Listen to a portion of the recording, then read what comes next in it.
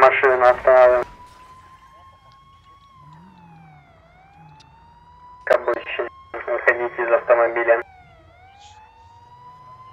Вы мне?